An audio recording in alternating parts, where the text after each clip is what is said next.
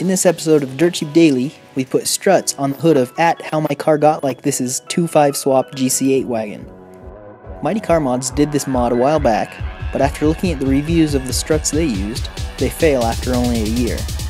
We decided to use the struts from the back of a Forester we found at the junkyard.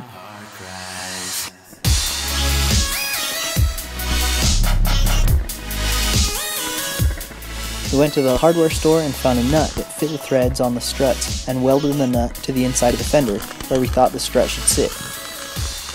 Then we used Tek screws and JB Weld to fix the top of the strut in position.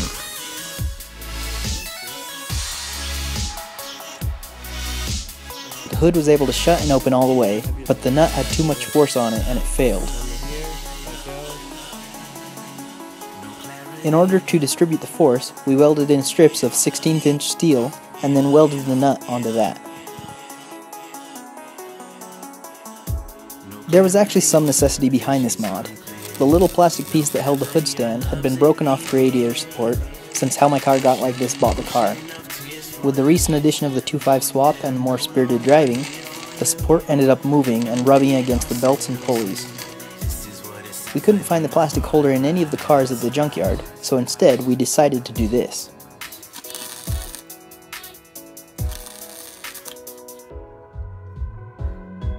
Although I wouldn't totally recommend it, you could do the same thing using JB Weld and Tek screws to mount the plates and nut in lieu of a welder.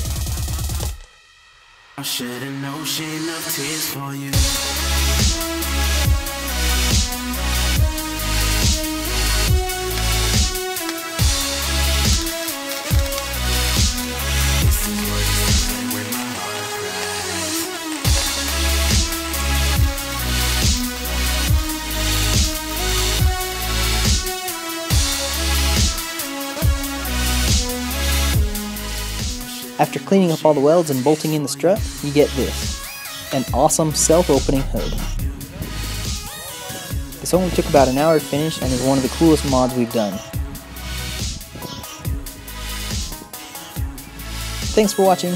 Subscribe for future episodes and check out my Instagram for daily updates. I've also started an online store where I'm selling stickers, so be sure to check that out.